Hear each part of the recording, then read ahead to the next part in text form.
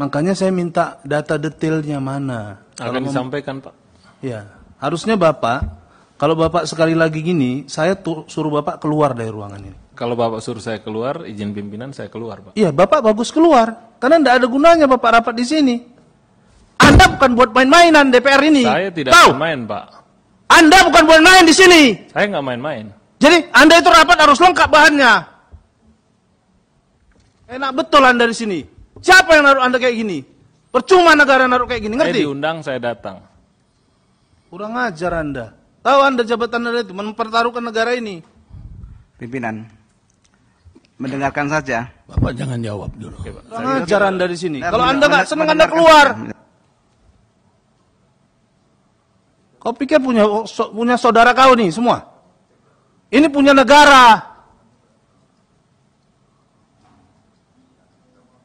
Bukan punya pribadi. Saya bicara di sini pun atas nama negara.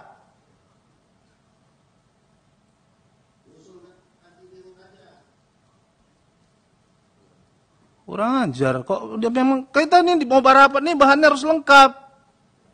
Anda jelasin sejelas-jelasnya karena fungsi pengawasan di sini dan anggaran.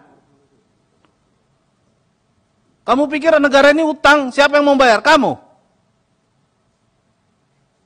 Enak betul kamu ngomongnya. Saya pimpinan, kalau ada orang begini lagi, tidak usah ikut rapat. Kita suruh wakilnya aja. Bila perlu, kita suruh menterinya yang datang kemari. Tidak perlu lagi. Saya minta kalau ada orang seperti ini, tidak usah lagi rapat di Komisi 7.